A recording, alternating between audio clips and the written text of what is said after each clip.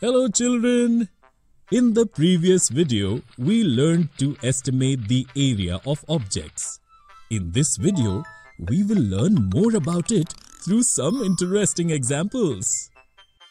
Champapur has received bright sunlight after the rainy season, Let me make papads. thought Chanda.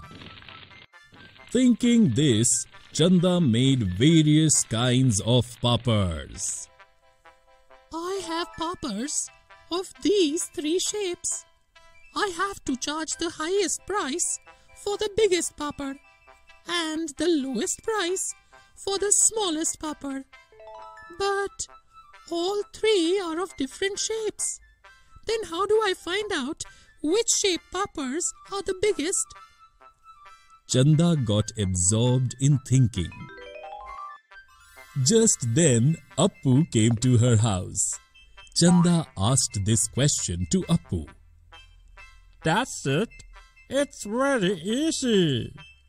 Appu told Chanda and quickly drew equal squares of 1 centimeter edges on a paper.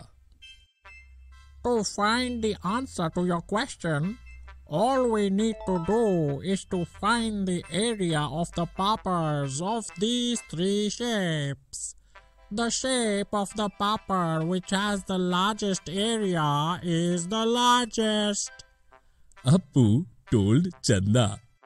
Appu then made outlines of papads of all three shapes on the paper with the help of a pencil. Let's first find the area of this shaped papad. Let me first draw this rectangle in this shape here so that I can find it easy to find the area.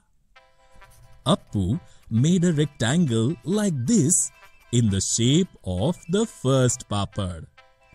Now I will write down the number of squares that fall into these rectangles. Now I will write the number of full squares left 16. And finally the number of the remaining half squares 20 which is equal to 10 full squares. Now this is very easy. To find the area of this papad, we just have to add the numbers of all these squares. Look, Chanda, there are 175 squares in total in the area of this papad. In other words, the area of this papad is 175 square centimeters. Appu explained to Chanda. Oh wow, Appu, this is very easy and fun too. Let me find the area of this papad now. Chanda told Appu. Then Chanda made such rectangles in the area enclosed by the outline of the second papad. She then wrote down the number of squares falling in those rectangles in this way. Now, Chanda wrote the number of the remaining full squares 20 and then she wrote the number of the remaining half squares 28 or 14 full squares. In the end, Chanda used addition in this way and wrote down the total number of squares covered by this papad 98. Appu, the area of this papad is 98 square centimeters. Chanda said excitedly.